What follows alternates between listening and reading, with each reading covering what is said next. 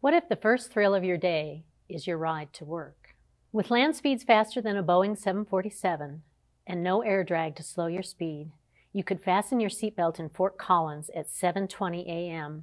and arrive in Denver at 7:29 a.m. just 9 minutes later, with plenty of time to pick up a muffin and latte before you leisurely stroll through the front doors at work. Hi, I'm Diane Crist. I'm a candidate at large for Longmont City Council and I have vital information you need to hear. In 2017, the Colorado Department of Transportation submitted a plan to a global Hyperloop challenge, outlining a north-south route along our front range. Here is a diagram of that original plan. The route included spurs to Fort Collins, Longmont Boulder, and an east-west leg out the I-70 corridor for Denver to Vail. The route is planned far enough east to include transportation to DIA. CDOT's proposal was compelling, and Colorado was awarded status as one of four first routes to be built in the country. The other three winning routes were Chicago, Miami, and Dallas, thrusting Colorado in the limelight as a significant player on the national stage. Now, here's something important I need to call to your attention. In the past four years, the route map has changed and no longer includes a connection to Longmont Boulder. This is the updated route map. As citizens of Longmont, we need to be very concerned about this change.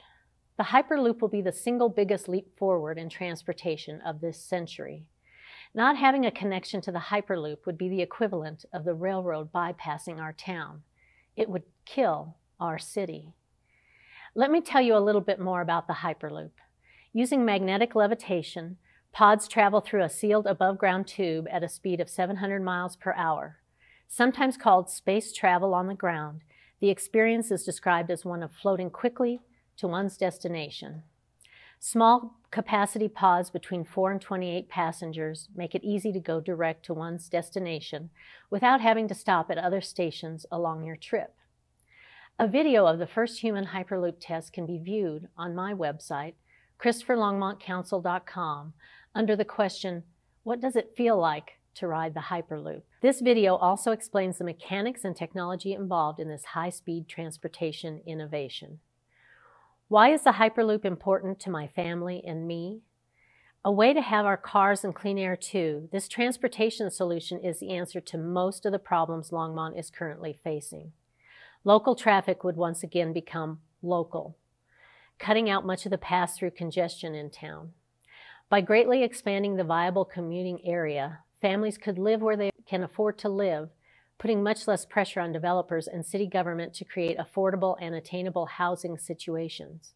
City Council can focus on creating walking neighborhoods that would bring back our village feel and insulate our small businesses. And as an extra perk, the Hyperloop will improve our air quality by reducing highway emissions by as much as one third. And Longmont, isn't it about time we planned a lasting solution to the problems we keep discussing but never really solve? Three different companies are currently perfecting this technology in a race they say will be ready for use in the next nine years.